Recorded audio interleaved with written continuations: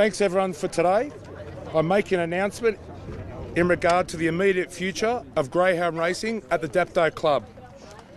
Pursuant to the Greyhound Racing New South Wales powers under the Greyhound Racing Act, I've appointed an administrator here at Dapto to run the operation. Grant Carroll.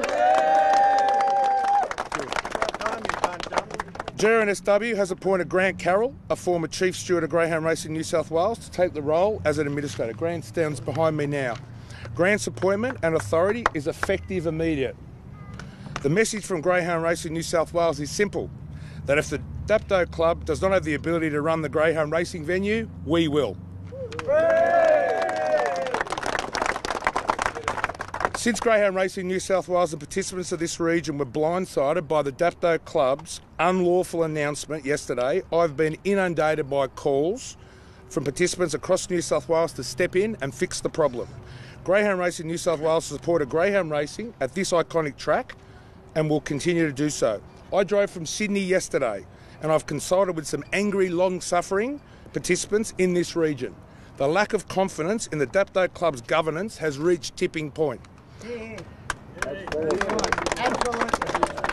I want to be clear on some background and context. Greyhound Racing New South Wales has spent the last four months consulting and negotiating with all 15 tab clubs in New South Wales to finalise agreements to fund their operations under a guaranteed three year funding agreement.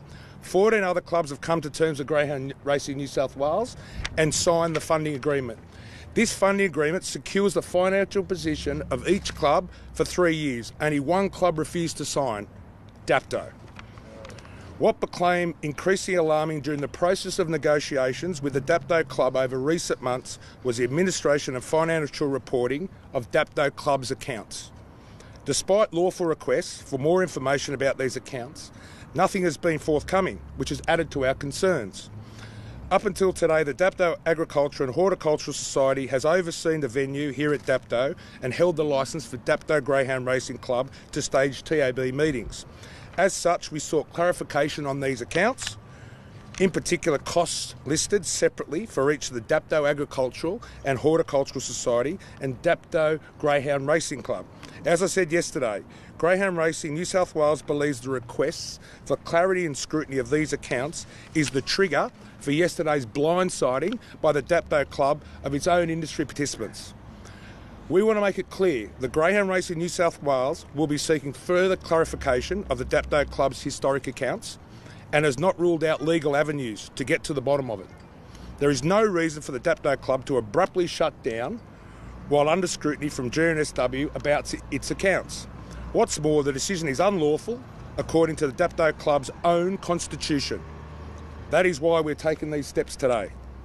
It is also why we are pursuing further investigation and auditing of the financial histories of the Dapto Agricultural and Horticultural Society and Dapto Greyhound Racing Club.